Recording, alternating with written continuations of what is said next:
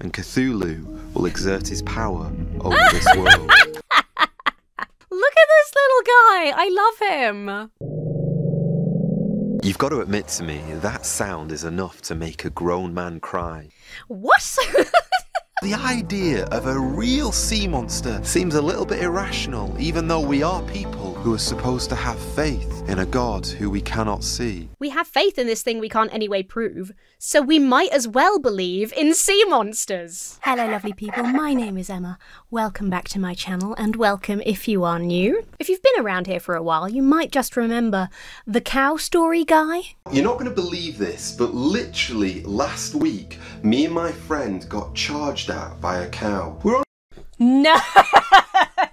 if not, I've got a really fun video for you to watch next. This is Joe Kirby of Off the Kirb Ministries. He is an interesting fella. Now, as a quick preface to this, I will say I don't know anything about Joe other than the videos I've watched of his, and I think part of the reason he has a large following is because he comes across as a nice guy. That being said, when a channel with 2 million subscribers shares opinions that I wholeheartedly disagree with and spreads what I believe to be misinformation, especially if it's funny, I gotta have a crack at that. Basically, what I'm saying is, I wish no shade to be thrown at Joe. Don't go and be mean to him. Sometimes his content pisses me off. I also want to throw out my new, um, I might have used this term before, but I'd like to make it official today. I'd like to call people like Joe off the Kirb Ministries uh, and his peers biblical conspiracy theorists. Essentially, these are people who are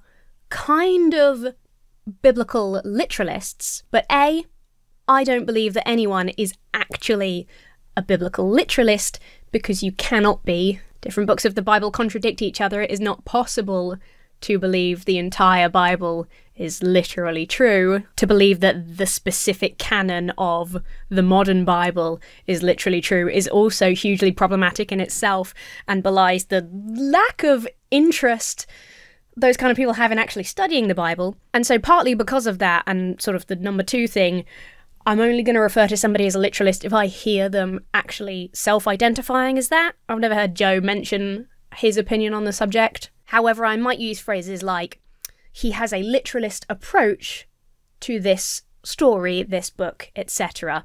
But for the most part, Joe falls into this wonderful category of what I would like to call biblical conspiracy theorists. That is essentially where you go off into conspiracy theorizing using biblical evidence. Joe Kirby, biblical conspiracy theorist, let me know what you think about that term in the comments. If you see any problems or you have any better ideas, let me know. I want to hear. So once I saw this video called, in quotation marks, we tried to warn you, Japanese science experiment went wrong. So there's something a bit pornographic about the title. I just, I had to check this out, of course. Before we dive in, I'd love to talk to you about today's sponsor, Geologie. It's January, a brand new year. As you might have already heard me complain about, I was quite ill through December whenever I'm not well, slash when it's the holiday season and time to just eat loads of chocolate and lie in bed and not look after myself very well. Mm, the first thing that falls off for me is always good skincare, hair care, stuff like that. So the new year is the perfect time to start a new routine if you're looking to upgrade your skincare routine. Geologie makes it so, so easy for you. Geologie has 29 prestigious awards, including Men's Health, Oprah Daily Grooming Awards. Uh, it's got 7,000, over 7,000 five star reviews. If you're someone like me who is a little bit scatterbrained, it really is the best thing for making your skincare routine so easy. When you get your routine, you get these fabulous cards that explain not only every single ingredient, what the active ingredients are, but also exactly when and how to use them. Not only that, but your products. This is my tone control morning cream. You see these numbers, you get this really simple visual way of identifying what step in your skincare routine this is. So even if I'm completely half asleep, I pick this up, I go, there, number three, I've done, I've cleansed my face. Okay. And then I just do it. It's so, so easy. My skin is absolutely better when I'm using my Geologie routine. There is no question. It's super easy. You go online, take this 30 second diagnostic quiz, tell them about your skin and your goals. Their team of dermatologists will design a skincare routine personalized just for you, and then that gets delivered to your door. It is so simple. Click the link down below or scan the QR code. Use code EmmaThorne70 to get 70% off the skincare trial set. It's such a good discount. And on top of that, you get an additional bonus offer of up to 30% off of an add on product when you add it to your trial. Do check out that link, get yourself the Geologie trial, get one of those New Year's resolutions ticked off straight away. Thank you so much for listening and to Geologie for sponsoring this video. Here we go. We tried to warn you Japanese science experiment went wrong. If you take this number and put it in Google Earth, you will discover what the internet believed was a sea monster called Ningen. In October 2010, Japanese marine biologists were recording deep beneath the ocean's surface when they caught this on camera. Kind of looked like a like a beluga whale. Was that just me? I don't know where they live in the ocean. Just the shape of the the little bit of sh- blurry shape that we saw. The footage that is harder to deny. Imagine him, like, in the office being like, Gary, can I make you a cup of tea? He does, like, what he thinks is a charismatic storytelling voice for the internet, and I hate it, but he's got 2 million subscribers. So maybe I'm the one doing something wrong estimated just how many sea monster sightings there has been around the world. But it all kind of makes sense when you realise that one of these creatures is actually real. Now, before I reveal to you who I think this creature is, first. Well, no, no, no. You said actually real, Joe. It can't be actually real and who you think it is. I know who he thinks it is. He thinks it's Leviathan because he's a biblical conspiracy theorist. We'll get to that when he does. It can't be your personal opinion and what it actually is. We're not off to a good start, Joe. Let's put. The the other thing that I don't like about again, it's like clearly a done thing on YouTube with like storytelling. He uses so much stock footage and transitions, and it's just like it's all too much for me. Look at this thing. That's hilarious. Ningen onto the test. Who is he, and what is the proof that he actually exists? Fix your eyes on this. I love that we're talking about him like a dude. Who is he? Back in 2005, a satellite image caught this monster-like object off the Namibian coast. What? Am I stupid? What about that is monster-like? Which matches all of the descriptions of the Ningen First of all, that's not how you spelled it a minute ago. That says Ninjan. Is that the female version? Human like features, smooth skin, walks on land. What do you mean it matches all of those? Let's go back a second. It's a blurry dot. What the fuck, Joe? Of the Ninjan sightings. I wonder if what? I should share this with you, but certain people believe that the Japanese I wonder if I should share this with you, but I'm sharing it with you immediately because of course I am. Why would I even fucking say that? These powers that be are actually trying to hide something from us to avoid a public meltdown. That in fact, this Ningen is not an urban legend, but a science experiment that's gone wrong. Shut the fuck up. That's okay. He's articulating a conspiracy theory, a conspiracy theory that some people believe. So this isn't on Joe. Whilst some religious people believe that Ningens may even be the Goliath like creatures that are mentioned in the book of Genesis. Why do people say that? Stock image of old book that might be a Bible. This, well, their justification is partly because the name Ningen literally means human, and these sea creatures are reported. In what? In what? It didn't say what language. Uh, why are we spelling it differently again? I'm googling Ninjan doesn't even come up with anything. What if I do G E N? Look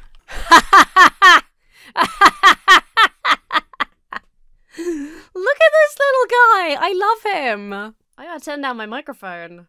I'm laughing too hard. Look at him. That's an artist's impression of Ningen. Let's do what he did first, Ninjan. Okay, it's detected that as Zulu and translated it to ninja. So Ninjan doesn't translate to anything. His little Google Translate thing here is, is bullshit. But if you spell it Ningen, it does translate to human. The weird changed spelling fake spell check uh, Google Translate aside, the name doesn't. It doesn't. Oh, it means human. Humans made up the name.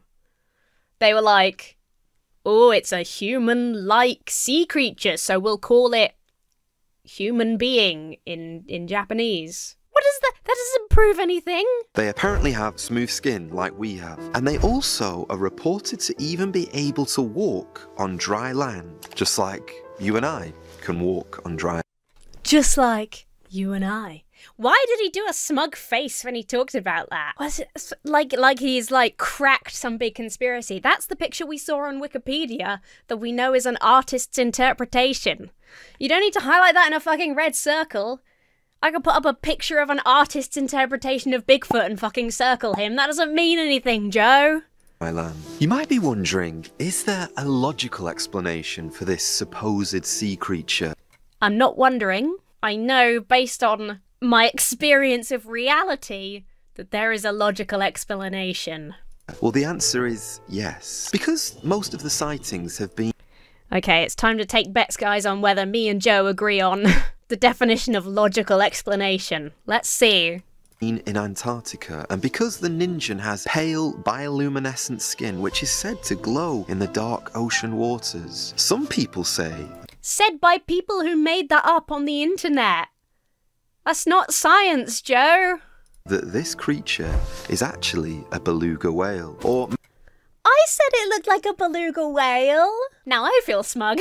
maybe it could be some semi-aquatic sloth like the ones that actually Aw. used to roam on our Earth back in the period Oh. when we would have seen dinosaurs. But of Yeah, course, ancient most big people sloths are believe so this is just the work of a clever Photoshop artist who wanted to create a bit of a stir on the internet. And you've Could got to that. admit, it worked. Do you think this is the real life sea monster that I'm going to tell you about a little bit later? Okay, How can they answer? Do you think? Hey guys, leave in the comments below if you think that this is the creature I'm going to tell you about in the future. meet our next possible sea I don't understand why he's in a forest either. We're talking about a sea monster and he's he's in a forest. He should be like in a swimming pool. sea monster in real life, the bloop. In 1997, scientists accidentally discovered something whilst listening to underwater volcanic activity off the Pacific Ocean. Their advanced hydrophones recorded an alarmingly ah. loud sound, which was later named the bloop. They conducted a larger experiment where they took multiple microphones across 2,000 miles of ocean with the hopes of getting to the bottom of what is I find that shit so fucking annoying. too much stock footage. It doesn't aid in the delivery. It just clogs up the screen and irritates me. the source of this low frequency echo. What they discovered was Let's look this up then. Bloop was an ultra low frequency, high amplitude underwater sound detected by the US National Oceanic and Atmospheric Administration in 1997. By 2012, earlier speculation that the sound originated from a mani- None of those words came out right. Earlier speculation that the sound originated from a marine animal. Me out here criticizing other people's content, I can't even fucking say words. Was replaced by NOAA's description of the sound as being consistent with noises generated via non tectonic cryoseisms originating from glacial movements such as ice carving or through seabed gouging by ice. So this has been likely solved. But before I tell you their conclusion, first, I think you and I better listen to this sound, don't you? You've got to admit to me, that sound is enough to make a grown man cry. It's so What? Maybe you, Joe, but I... grown men in the comments. Statistically, that's most of you. Let me know if you cried at that sound of seismic activity or ice carving. you see somebody like sculpting ice, and the second the chisel hits the ice, you're like, grown men, enough to make a grown man cry. weird, in fact, that this image started to trend all across social media. And one Mexican that trended because that kind of stuff is cool because it's visually interesting and hey a conspiracy theory the fact that people then made conspiracy theories about it does not contribute to the evidence joe that's intellectually dishonest to stack up artists imaginings of what could make this sound with actual evidence. YouTuber Horacio Blois created an animation that also broke the internet, where the sea monster, the Bloop, had a showdown between an even bigger sea creature called El Gran Maja. You and I know that that isn't the logical explanation for this Oh, that YouTuber's cool animation that he made up isn't a logical explanation for a real thing that happened. I can't believe it. Bloop sound. Dr. Robert Dziak, the chief seismologist of the project, said that we have been conducting experiments for over five years now, and according to the data, it's extremely unlikely that the sound is animal in origin. But it's more likely to be an ice quake where an iceberg that would literally be the size you, of Rhode Island broke away from an Antarctic glacier. But hey now, he did not rule out the possibility entirely, and I've got to wonder Well, he can't. Unless you can create a time machine to go back and scour the entire area to see what happened, you'll never be able to entirely rule out anything. Our next sea monster is not real whatsoever, but you'll soon see just why I included him on our list. Cthulhu is a mythical sea creature created by Guys, I've got to tell you, Cthulhu isn't real. You're blowing my mind, Joe. Go on then, tell us about Cthulhu. by the author H.P. Lovecraft, but little did he know that he had created an unusual religion. According to his followers, Lovecraft did not write a fiction novel, but a profound truth that had been hidden for thousands of years. Under normal Ah, no, not his followers. Let's say a small, weird minority.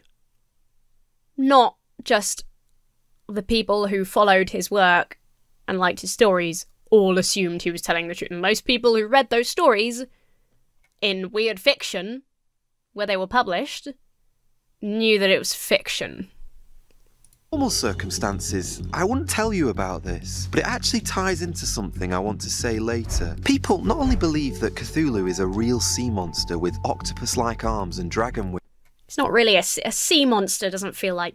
Dagon's a sea monster. Cthulhu's a great old one. He's like a, a an ancient giant space monster who sleeps beneath the waves. wings. But they also believe that Cthulhu is a god who is omniscient. That means he knows everything, even the future. Now remember this point, because I want to address it later.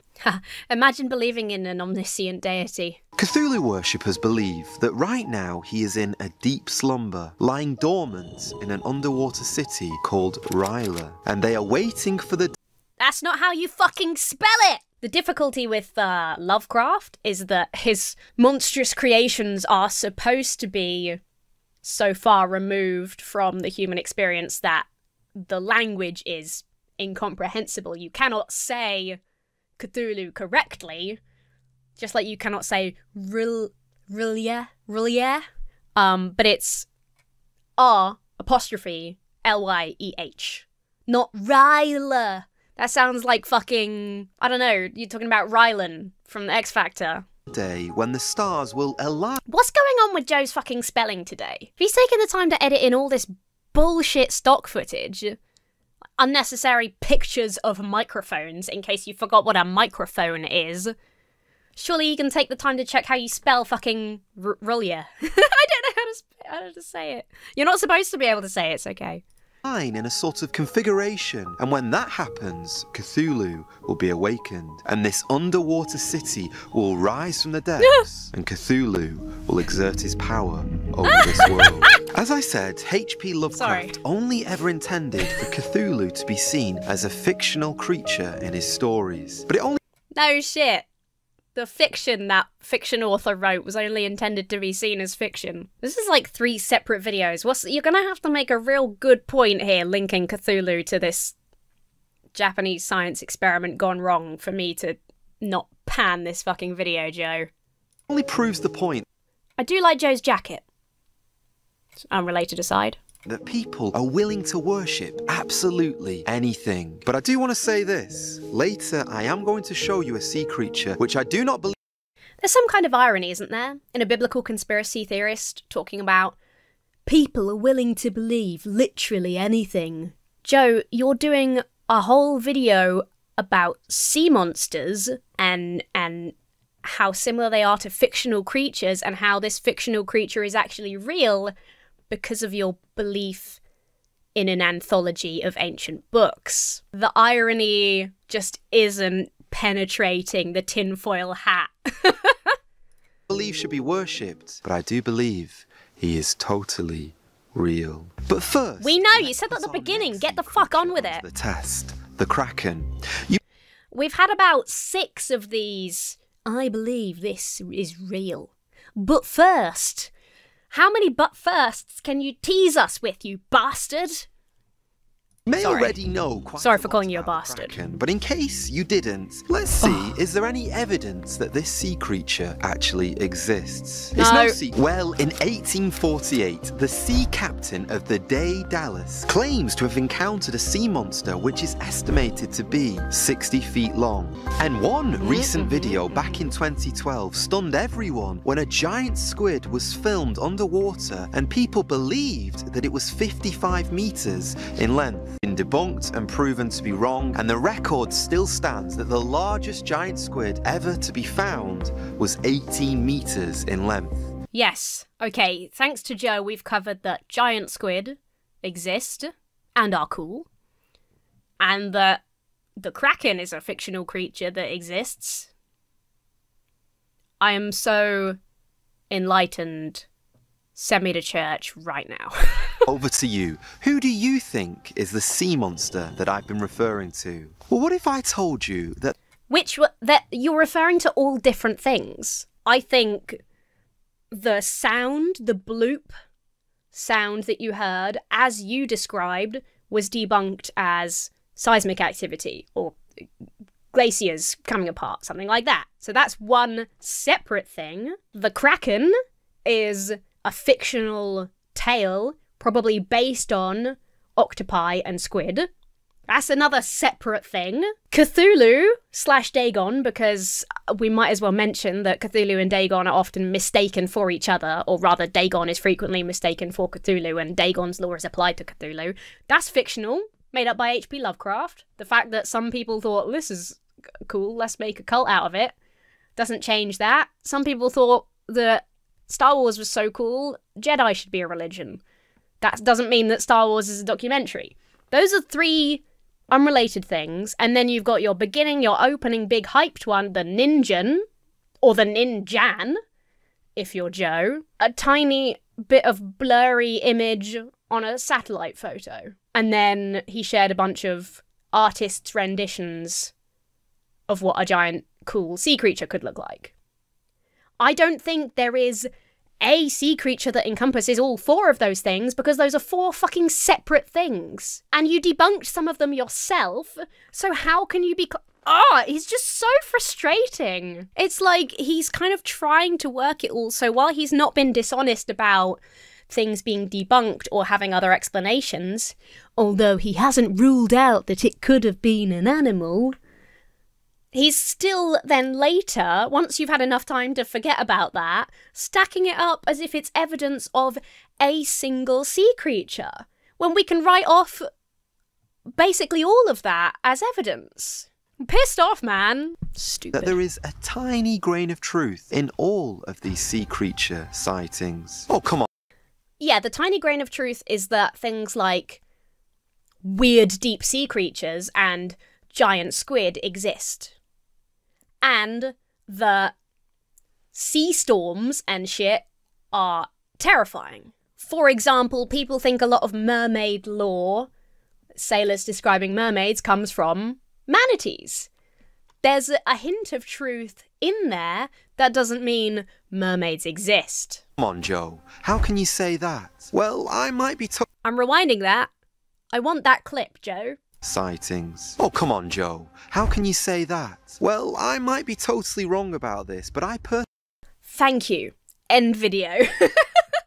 personally believe that there is evidence that this sea creature exists. The monster I'm talking I bet the evidence is in the Bible. Some say it's the Loch Ness Monster, whilst others believe this is a sea reptile like a plesiosaurus. Others believe that this creature is just an oversized crocodile, whilst others claim this is the fish that swallowed Jonah. And I've even heard people say that this being is the Prince of Darkness himself. Satan is a huge fish, guys. What the fuck are we doing? what am I doing with my life? This sea monster that I'm talking about, well, his name is Leviathan. Oh, come on, Joe. Oh, come on, Joe. Are you really trying to tell me that you believe there is a sea, fire breathing dragon that lives beneath our oceans? Well, it is possible, is it not? When, after all, 85% of our oceans have gone totally unsearched. And I. Yes, but only in the same sense that a fish that looks like a pink sparkly unicorn mixed with a seahorse could exist down there. This is some Leviathan of the Gaps shit. Neither all of these hundreds of sea monster sightings over thousands of Those aren't sightings, Joe. That those are art. Those are humans made those up using their creativity and imaginations. Some of them are cool. They don't count as evidence. I think Joe doesn't understand that art isn't evidence.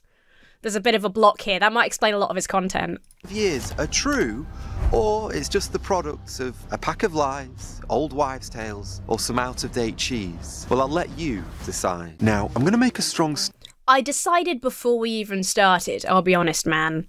statement, so just listen closely. Not all Christians believe that Leviathan is a literal sea monster. In fact, No shit. Not all Christians, most Christians in 2024, don't believe that Genesis is the literal origin of humanity. Most Christians who have done a little bit of research don't believe the Exodus literally happened. Etc., etc., etc. Most Christians aren't fucking stupid and don't believe that this giant allegorical monster that is clearly allegorical is real. Many believe that Leviathan represents chaos. Babylon. That Leviathan is Oh. God's pet. That he's sort I made the stupid mistake there for, for a second of thinking Joe and I were on the same page. I thought he was going to say Babylon. Because as with Babylon becoming synonymous in a lot of Bible texts with the current enemy state, the current enemy of the people, the big threat in the world, so many scholars believe Leviathan was sort of a, an allegory for Babylon. of to be taken metaphorically. Like, you know, we have these sea monsters that loom over us in life, these big problems that we find daunting and scary. That's what Leviathan represents in the Bible. That's what some That's a slightly more out there interpretation than I am familiar with, but that's plausible too. Christians believe. And as you know, I'm not the source of authority, I'm just a guy on the internet, and my opinion holds no more weight than yours.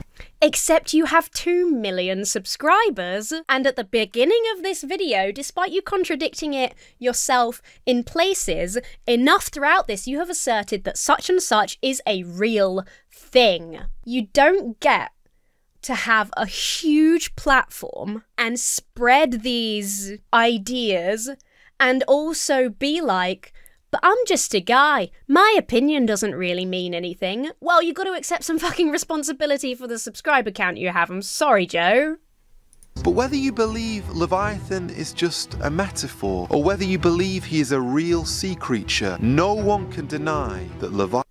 I think it's most likely a metaphor for an enemy state. And I think it's weird that that wasn't one of the top things he came up with. It's no, it's the psychological serpents of evil. Leviathan obeys God. This is what God says about Leviathan. No one Once again, I'm afraid I have to correct Joe on this.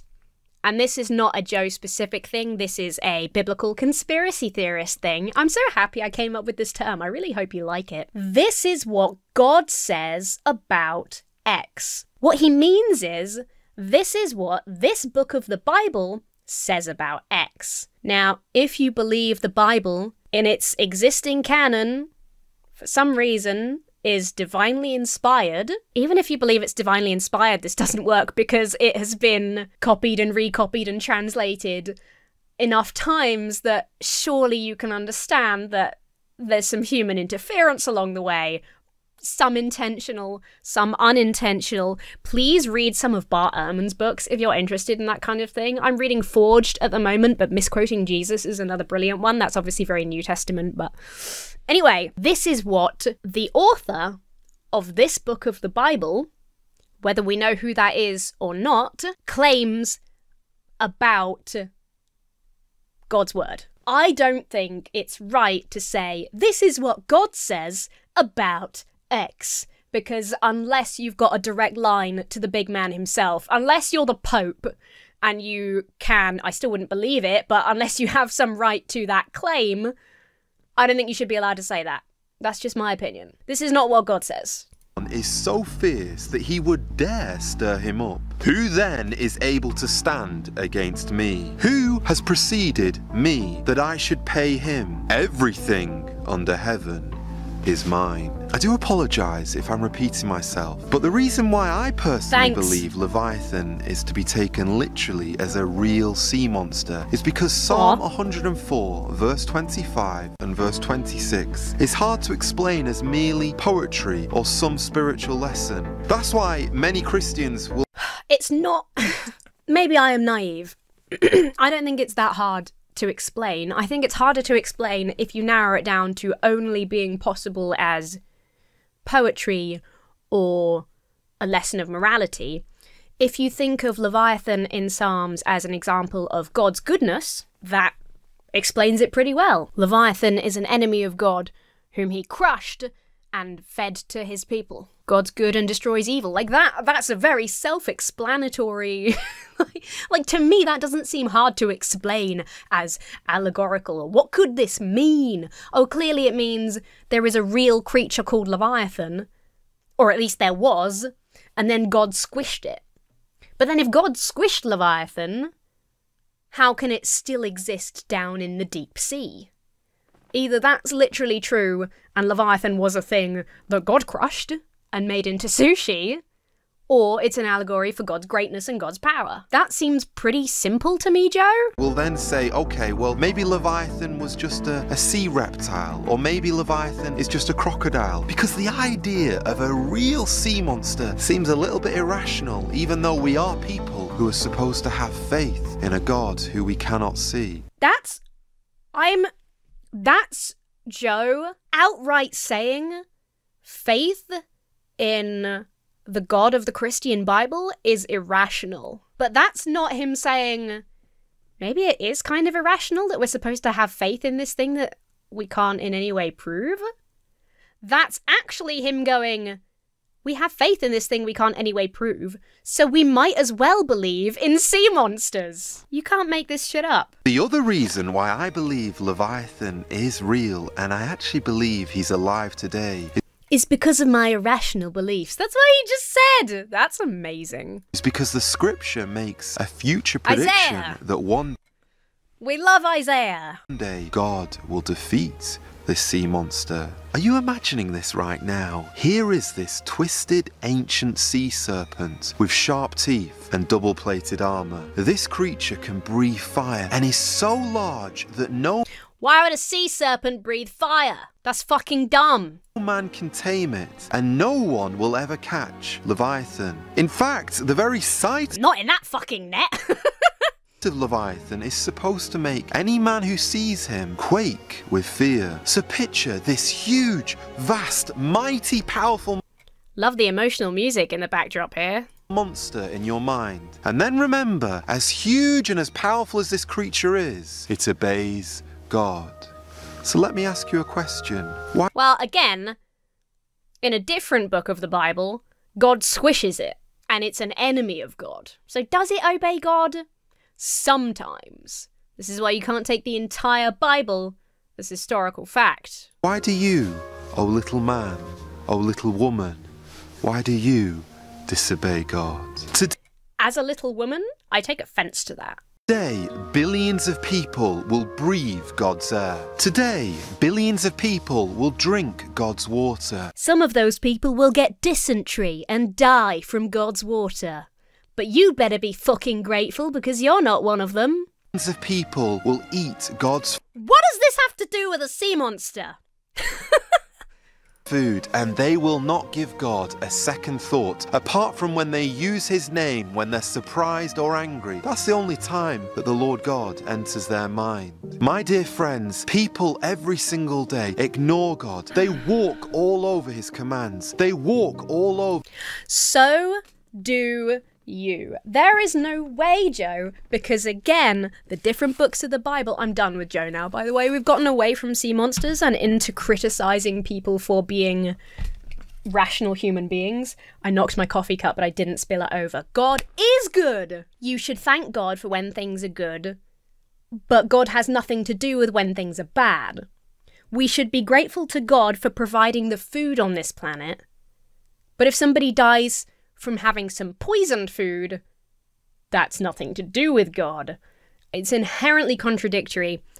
And like I say, the Bible contradicts itself. If you're trying to take it as a single book with a single unified message, you're going to get fucking lost. You're going to go crazy. That's why some of the most honest biblical scholars start as religious people and end otherwise. It cannot be one unified message divinely inspired.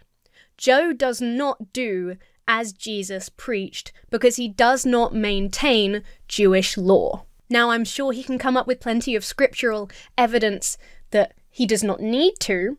Likewise, we can come up with plenty of scriptural evidence that he should be maintaining the law. God, Christians love the Ten Commandments. Either God changed his mind, that isn't historical fact, and Joe knows it, or he cherry picks the parts of the Bible that work for him whilst criticizing people who don't share his views. And if you're curious, I know Joe doesn't keep the Ten Commandments because he has uploaded plenty of videos on the Sabbath day. It's the judgmental attitude combined with the hypocrisy that is the most frustrating about people like this. He will sit here and, over emotional music and stock footage, criticize rational people for living their lives, for existing without, say, saying grace, for thanking the human beings that do good things for them rather than a somewhere distant god who might have had something to do with it based on your beliefs.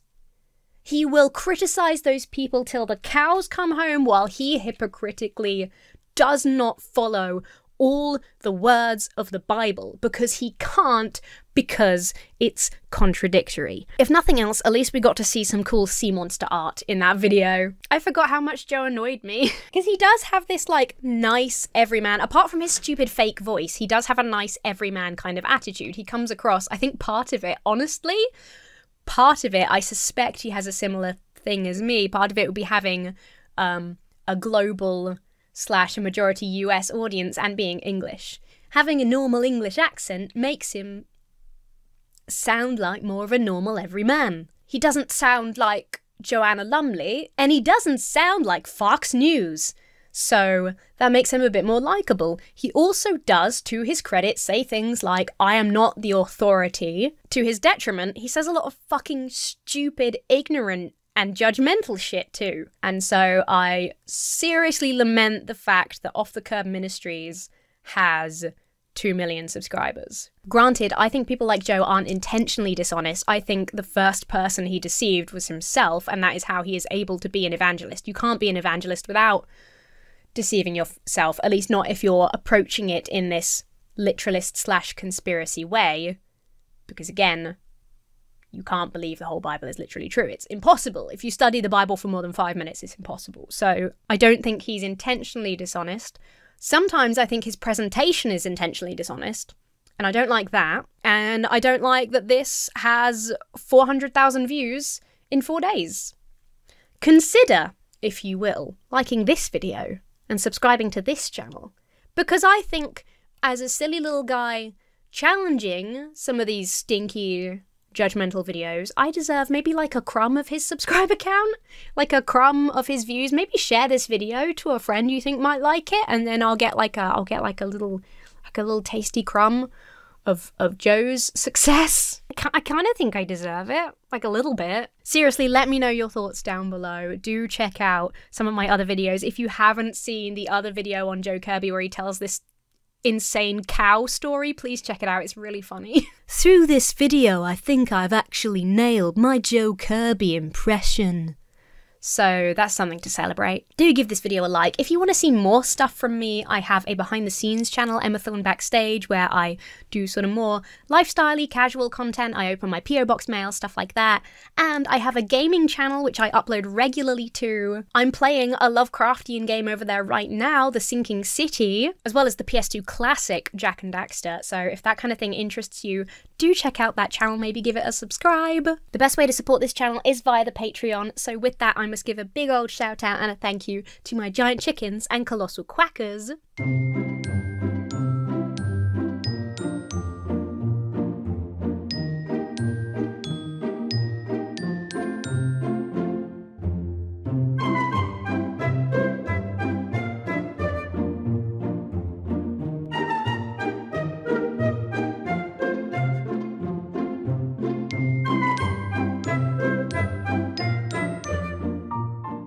Do check out the Patreon to see what goodies and secrets you can get over there, including uh, lifelong access to our community Discord. You can become a channel member here for some silly emotes and comment priority. Most importantly, have yourselves a very lovely week, and I will see you really soon.